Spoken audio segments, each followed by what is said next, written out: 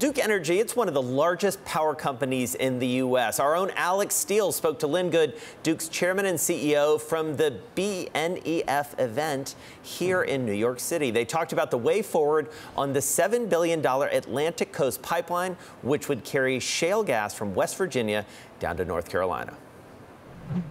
So Atlantic Coast Pipeline has been under development, Alix, for about four years. It has undergone the most comprehensive environmental review of any pipeline. We've been very successful with permits at both the state and the federal level, but as you know, we've been challenged over the last couple of months with findings in the Fourth Circuit Court. And so we're working through those. I think what gets lost in this conversation is that that pipeline is so important to our customers, delivering low-cost natural gas, diversification, operating flexibility, really economic development in the eastern part of North Carolina in particular. So we remain committed to the project and we'll work through these challenges that are underway right now. What would you, what would get you uncommitted? I think the uh, ongoing delays could be a challenge, but I, I, look at what we are experiencing as one of the challenges of building infrastructure, and we are committed to working through it. We believe, as I said a moment ago, that the environmental review that has been undertaken for this project is second to none, and the benefits to our customers are so extraordinary that we believe it's important to keep pushing forward on this infrastructure. What about the cost impacts? The cost has also been creeping up as delays have crept up as well. Uh, how confident are you that it is going to be between seven and 7.8 billion? You know, I'm confident based on what I see right now, Alix, and we are doing everything we can to minimize costs during this period of construction suspension that is underway. And so, you know, that is part of the uh, process of building infrastructure is managing that in-service date, managing the costs, but also working through the permitting and court challenges that come with it. So talk a little bit about a plan B. I mean, let's say it gets too expensive or the delays are, are too long. You do have to get the natural gas down there. So, like, what's a realistic plan B that you could think of? another of? project. We would have to come up with another project. And I think about our uh, local distribution system, which is the delivery of gas into that area.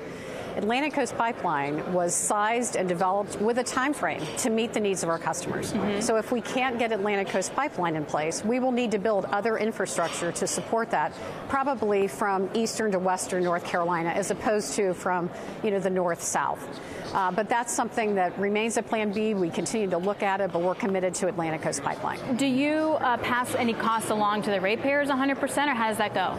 It's under contract, uh, Alix, and so we have negotiated contracts with customers that are in place today. Uh, we do have opportunities to reset price uh, if there are extraordinary delays in the project, but we're always looking for what makes the most sense for customers, but also the most sense for our investors. So I know you're committed, and I definitely get that. Is there a time frame or cost that you say I'm out, like nine billion? An extra year delay. Like you have to have those kind of risk models. You know, Alix, at this point, I don't have a specific thing that I would share with you. Our commitment is to work through these challenges because we have such confidence in the environmental review that has undertaken the business case for this for our customers, the commitment to our communities because this represents incredible investment and economic development. That's where our mind is and our heart is right now is to continue pushing forward with this pipeline. So moving on to sort of a broader impact of climate change has been your uh, objective take on what's happened with PG&E uh, in California and the longer-term repercussions for a power provider and utility?